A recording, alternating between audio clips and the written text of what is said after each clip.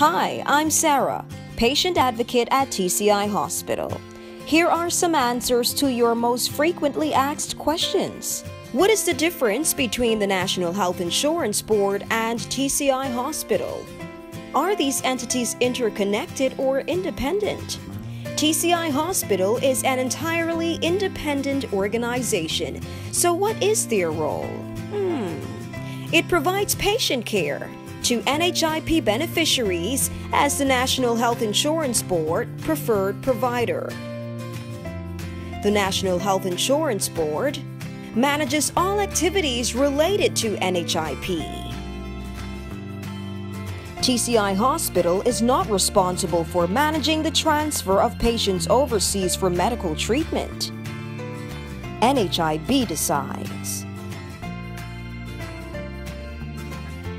I hope my answers were helpful.